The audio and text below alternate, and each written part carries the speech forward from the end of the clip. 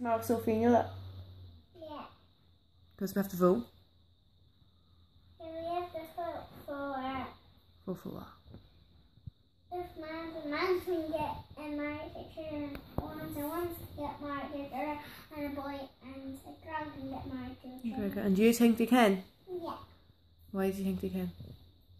Because they love each other. Oh, it doesn't matter if they're man a man and woman a woman. No? Alright. And um, is it okay if a child has two mummies or two daddies? Yeah. Is it okay? Is that, would a child still love the mummy or daddy? Or two mummies or two daddies? Will they still love them? Yeah. That's good. So, if you were voting, what would you vote? Would you say yes, they can get married, or no, they can't get married? If they can get married. Because why? Because they love each other. I already said that. Alright, okay. Bye. Bye.